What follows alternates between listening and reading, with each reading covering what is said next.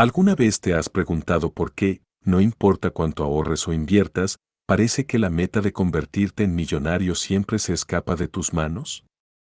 Bueno, podría haber un motivo oculto que nunca consideraste, las trampas financieras diseñadas para mantenernos estancados. Hoy, vamos a sumergirnos en las profundidades de estas trampas, algunas de las cuales han sido cuidadosamente ocultas a plena vista. Te voy a revelar cómo identificarlas, entender su funcionamiento y, lo más importante, cómo evitarlas para asegurar tu camino hacia la libertad financiera. Pero eso no es todo, también te compartiré estrategias probadas que han convertido a personas comunes en millonarios autodidactas. Así que, si estás listo para desafiar el status quo y tomar el control de tu futuro financiero, este es el momento de prestar atención. El conocimiento que estás a punto de adquirir podría ser la clave para desbloquear la puerta hacia tu libertad financiera. Empezamos ahora. Número 1. Planes sin pago inicial. ¿Quieres ese televisor grande, un colchón elegante o un sofá cómodo, pero no tienes dinero? Bueno, parece haber maneras de cumplir los deseos de tu corazón incluso antes de tener el dinero para pagarlos. Una trampa sin pago inicial es esencialmente otra artimaña bien preparada con rosas para obligarte a realizar pagos a largo plazo por cosas que podrías pagar por adelantado. Poner un 0% de pago inicial puede parecer legítimo y conveniente, pero olvida que algún día tendrás que pagar por ese artículo y los términos de pago generalmente abarcan un periodo de 12 a 36 meses. El problema surge cuando no puedes liquidar el producto antes de que venza. A partir de ahí, comenzarán a retroceder los cargos por intereses hasta la fecha de compra.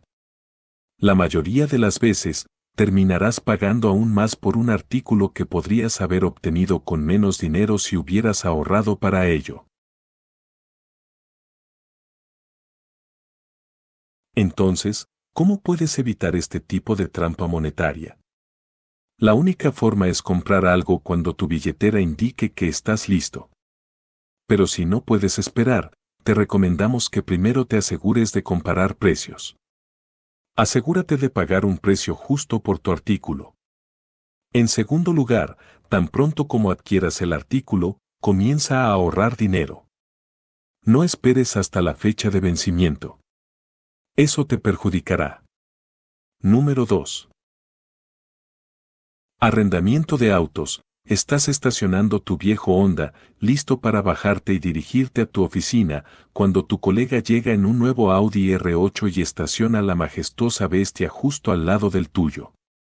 Con sus vidrios polarizados, su carrocería plateada, sus parlantes de alta calidad y su lujoso asiento de cuero, es todo lo que siempre has deseado en un automóvil. Apuesto a que querrías ese Audi R8, ¿verdad? Y creo que incluso cambiarías tu onda por un coche así. Imagina la mirada de asombro que tendrían tus amigos al verte con un coche así. Antes de continuar, recuerda seguir viendo para obtener más consejos financieros útiles. Si aún no estás suscrito, te invitamos a hacerlo para no perderte futuros contenidos.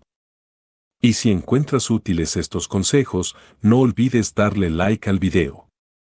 Si has llegado a este punto del video, recuerda comentar la frase, evito las trampas del dinero, para recordarte aquello que debes evitar y así lograr proteger tu dinero. Continuemos.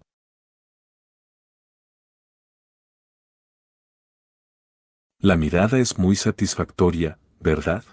Lástima que no puedas permitírtelo, pero puedes arrendarlo.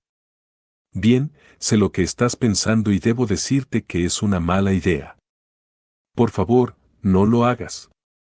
Es parte de la naturaleza humana dejarse tentar por el lujo, pero si no puedes permitírtelo, no lo arriendes. Arrendar un automóvil o cualquier objeto lujoso puede ser uno de los gastos más costosos que puedas afrontar. Y aunque arrendar sea más barato que comprar, siempre es una mala noticia para las finanzas personales. Significa que estás cayendo en la trampa de un estilo de vida y gastando más de lo que puedes permitirte, solo para lucir bien. Ya tienes un onda bonito y cómodo, ¿por qué deshacerte de él y arrendar un nuevo Audi R8 por el cual probablemente perderías interés cuando termines de pagarlo? La única manera de evitar este tipo de trampas es gastar en lo que necesitas, no en lo que quieres. Nunca gastes demasiado en tu presupuesto. Número 3.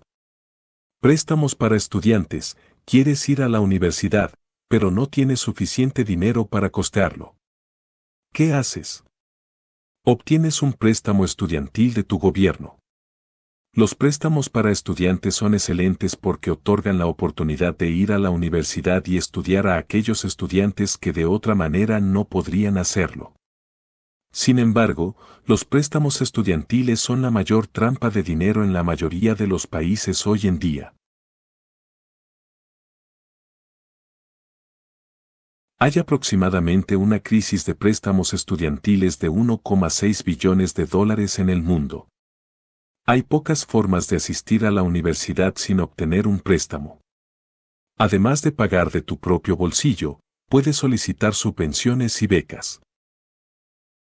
Sin embargo, si no tienes éxito, puedes optar por una universidad asequible o asistir a un colegio comunitario antes de transferirte a una universidad, conservando así tu dinero y ahorrando miles en tu educación.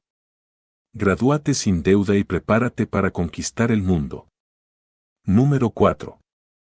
Hipotecas de tasa ajustable, o ARM. La tasa hipotecaria normalmente se presenta en dos formas, una tasa fija, donde el interés que debes pagar es constante durante varios años, y una tasa variable, también conocida como tasa ajustable, donde el interés que debes pagar cambia ocasionalmente. Te aconsejaría que nunca elijas una hipoteca de tasa ajustable. Ya sea un arma cuatro o seis años, una vez que la tasa de interés se ajuste, no tendrás control sobre tu destino. Optar por una hipoteca de tasa ajustable es simplemente jugar con fuego. Entonces, ¿cómo puedes evitar esta trampa del dinero? Si es necesario, obtén una hipoteca a tipo fijo. Al menos estarás seguro de que pagarás una cantidad máxima constante y no habrá sorpresas desagradables en el futuro si las tasas hipotecarias suben. La otra opción es, cuando busques comprar una casa, empezar con lo que puedas pagar cómodamente en lugar de lo que puedas pedir prestado. Número 5. Ensayo sin riesgos, incluso el nombre de esta trampa suena arriesgado. Hacer creer a alguien que algo está libre de riesgos es la artimaña más aterradora. Una de las formas en que las empresas logran que pagues más de lo planeado es pidiéndote que te registres para una prueba gratuita. La prueba se activa después de introducir la información de tu tarjeta de débito. La clave de esta trampa es que esperan que olvides cancelar y, por lo general, eso es exactamente lo que sucede el 90% de las veces. Le pasa a todo el mundo y la mayoría de las veces, los cargos mensuales después de la prueba son mucho más caros y simplemente se cargarán en tu cuenta. El dolor surge cuando recibes una factura de 167 pesos después de haber tenido una prueba de un peso o cero pesos. Si eres prudente, no realices ensayos sin riesgos. Ese es mi consejo. Gracias por acompañarnos en este video sobre trampas financieras. Esperamos que hayas encontrado estos consejos valiosos y que te ayuden a evitar caer en situaciones complicadas. Siempre recuerda tomar decisiones financieras informadas y mantener un control sobre tus gastos. Si deseas más contenido como este, asegúrate de estar suscrito para recibir nuestras actualizaciones. Hasta la próxima y sigue tomando el control de tus finanzas.